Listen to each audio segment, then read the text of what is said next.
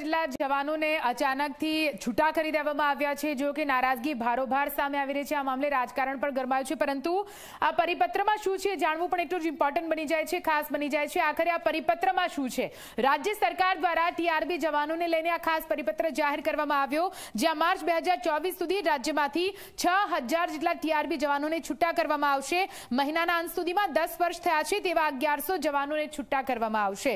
એટલે કે દસ વર્ષનો સમય જેમણે નોકરી કરી છે, તેમને છૂટા કરવામાં આવશે. મહિનાના અંત સુધીમાં તેમને છૂટા કરી દેવામાં આવશે. પાંચ વર્ષ થયા છે તેવા ત્રણ અને ત્રણ વર્ષ થયા છે તેવા ત્રેવીસો જવાનોને મુક્ત કરવામાં આવશે. આ ખૂબ જ મોટો નિર્ણય નવા વર્ષની શરૂઆતમાં લેવામાં આવ્યો છે. માર્ચ બે સુધી રાજ્યમાંથી દસ, છ જેટલા જે ટીઆરબી જવાનો છે, તેમને છૂટા કરવાનો આ નિર્ણય લેવામાં આવ્યો છે. અને આ નિર્ણય આ નિર્ણય ખૂબ જ મોટો બની જાય છે. આ નિર્ણય ખૂબ જ મોટો બની જાય છે. કેમ કે ટીઆરબી જવાનો ખૂબ જ લાંબા સમયથી રાજ્ય સરકારની આ નોકરી કરી રહ્યા છે, પ્રજાની સેવા કરી રહ્યા છે અને અચાનકથી જો નોકરી જવાનો ડર આ રીતે એક પરિપત્ર થકી તેમના સામે આવે તો સ્વાભાવિક રીતે તેઓ ચિંતામાં આવે, તેમનામાં આક્રોશ હોય, ગુસ્સો હોય ને ગુસ્સો અત્યારે રસ્તા ઉપર જોવા મળી રહ્યો છે. અને હવે આપણે આગળ વધીશું, વાત કરીશું ખાતરના કકડાટ વિશે.